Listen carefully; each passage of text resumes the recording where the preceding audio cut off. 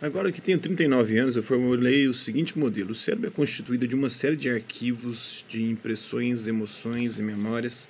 A consciência passa de uns para outros como uma corrente elétrica. As conexões assim feitas são os nossos pensamentos, penso eu.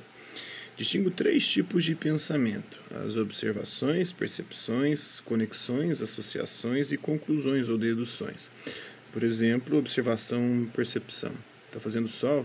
Ou está à noite, está chovendo, né, as conexões, as associações, o sol, né, calor, né, a chuva refrescou, né, anoiteceu, ou dependendo, tá, tá frio, né, frio ao congelante, a conclusão, hoje, né, se está fazendo sol, vou usar bermuda, uma roupa mais leve, uma camiseta cavada, então, todas essas conexões, pensamentos acontecem mais ou menos ao mesmo tempo, em diferentes níveis, consciente e subconscientemente, na nossa mente, no nosso cérebro, e quando a corrente passa por um arquivo, ela altera um pouquinho. Então vamos anotar aqui, passei por aqui. Né? Um bom modelo, não acha? Mas será que é exato? Permita-me apresentar-lhe, este é o Iri, meu marido, né? ele também é quadrinista, ele coloreou este livro. Né? Esse livro aqui. Interessante filosofia em quadrinhos para principiantes. Hasta la vista, babies, até a próxima.